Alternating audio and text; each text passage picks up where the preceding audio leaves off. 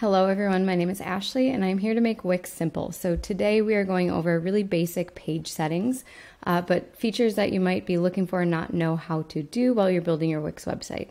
So you're going to find all kinds of tutorials and step-by-step -step instructions for your Wix website here on my channel.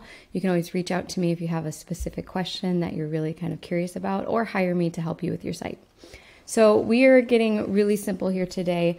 We're going to be talking about pages and how we can delete them, how we can password protect them, and just where to find them and find all of the settings on our editor. So I am working in the Wix Classic Editor today. There are obviously different platforms that Wix has released throughout the years, like Editor X or ADI or Studio, but I'm working in the Classic Editor. So if the settings that I'm pointing to in this tutorial are not visible to you or are different, um, it just means that you're probably utilizing a different platform editor. Um, we're going to hop right in. So I am on a website um, that I obviously built, and I'm going to just show you where we're going to find some of those high level page settings. So over here on your left hand menu, there's an icon that looks like a little page. We're going to click into that and we can see it is called pages and menu. So from there, I'm going to make my head a little smaller. We can see that we have all of our site pages and the menu for our site here on the left hand um, menu. You can hear my chickens in the background a little bit. They are pretty goofy. Um, so for the most part, you're going to be able to find the pages that you're looking for here on this site menu, but you'll notice there are also all these kind of sub menus. So if you're ever looking to make edits to a page that you can't find kind of out here in the open, you're going to want to find those in one of these sub menus, and they are all um, related to a particular app that you've installed. For example, like um, Wix bookings or the Wix blog or things like that. Um, but most of the time, you'll be able to find your page here on the main menu. So you can see here on the main menu these little icons next to every page. The little house means that this is the page that's set as my home page. You can set any page to be your home page on your site. Um, well, I shouldn't say any, but any of the pages in your main menu you can typically set to be the homepage on your site. Um, that's a really helpful tool for if you are making a landing page. If you've built out a site and you have a landing page that's just kind of welcoming people, um, you can set that as your homepage temporarily so people can't get to your full site, um, but you could collect email addresses or something like that there. Um, so you'll notice there's a different icon next to most of these um, pages on your site menu, your home page. The four squares, I believe, is like an, an app. So in this particular instance, it is uh, Wix programs. You also can see the a little calendar next to this one. This one is Wix bookings. Um, some of these are just folders. So that little icon can tell you a lot of information about the type of page that we're talking about. Um, let's go into one of these pages and see what kind of settings we have. For the home page, if I toggle over to the ellipses, I'm going to be giving all of my settings that I can adjust for this particular page. Um, you can see that it is already blocked out that this one is set as home page. So I, if I wanted to change that, I would go to the page that I want to set as the home page and click set as home page and it would swap them out. Um, you can go at, from just this ellipses and manage some of your SEO basics. So if you are doing the SEO Wiz, um, I don't know if it's even called that anymore, but um, that will take you into the page title and the meta description for this particular page. Um, if you're just wanting to share the page, I am assuming that's what the social share is. I've never seen or used that one yet. Um, but say I wanted to hide this page from the main menu, I would just click hide from the main menu, and that would take it off of my main menu like that. And then say I wanted to delete it, I would go here and click delete. So I know some people in the process of building your website, maybe you build some pages that you don't want to be a part of your actual website. So um, if you know that you're never going to use that page again, I highly suggest deleting it, making sure that it's not indexed with search engines.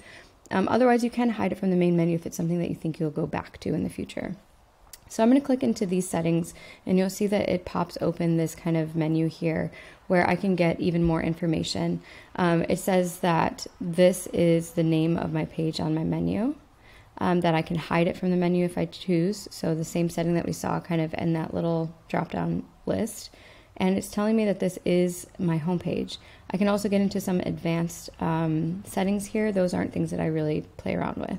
For the layout, you can choose to have it standard where the header and the footer are on that page, or if you're building a sales page, perhaps you're like trying to promote a specific digital product or an online course. Um, a lot of times when I'm making a landing page, I will make sure that there's no header or footer on that page, and that's where you will get that setting here. Um, speaking about uh, visibility of this page, um, in this instance, I'm talking about a home page, so it wouldn't really apply necessarily. But um, any page on your site can be visible to everyone. It can be visible to password holders only or members only. So if you are going to make a page password protected, you will select password holders and then you'll type in whatever password you want. And then you have to make sure you have a delivery system for that password in place. So whether it's an email list, uh, maybe you have like a special fraternity or sorority or some type of group where only people who have the password are allowed to view the site. Um, you would just want to be able to deliver the password to those password holders in some way, either within Wix and within Wix email marketing, or say you use like Constant Contact or MailChimp or something like that. The members only option is going to give you a couple kind of sub options where it can either be anyone who becomes a member of your site, and that will include them creating their own login with their own password. So you're not having to like email people passwords to get into your website. Um, and then there are different tiers of memberships where maybe there's a free level and then you have certain members that are paid. So you can see here that you can determine which members can access this page um, and get really specific about what role or what membership they have um, access to. Uh, again, I mentioned the SEO basics here, so this will take you. Now it's called the SEO setup checklist, which I guess is a little bit I don't know, sounds more professional than the Wix SEO Wiz. But um, you can exit this little or pop open in a new tab the whole setup checklist. I have a video on that in my on my channel, or you can just kind of do your basic tags, title tags, and meta descriptions here, advanced SEO, and then um, social share. So those are all of your site, or those are all of the page settings for your particular, um, or for pages on your website. Um, I just wanted to walk you through. Uh, a lot of people have never like stepped into the settings for these particular things. It looks like um, I might have made this members only, so I'm going to change this. I'm going to change that to everyone. You can see that when I had members only selected, it puts this little people icon next to my page. I assume if I did a password, it would change to that little password thing, but I want it to be everyone. Um, different pages are going to have different types of pages are going to have different settings. So my homepage in this instance is just a web page, but if I look over at the services, that is a bookings page. I can see the little calendar there. And when I click these ellipses, I'm going to be shown different options.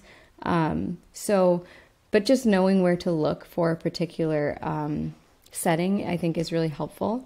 Um, so that's it today, just kind of getting you guys into some of these higher level um, features and functions for your pages, showing you where to find some of these important things like finding um, a members only restriction or a password protected page, how to delete and how to hide a, a page. If you have any questions specifically about what you saw in this video, or maybe you're struggling with something on your own Wix website, feel free to say hello in the comment. And thanks so much for watching.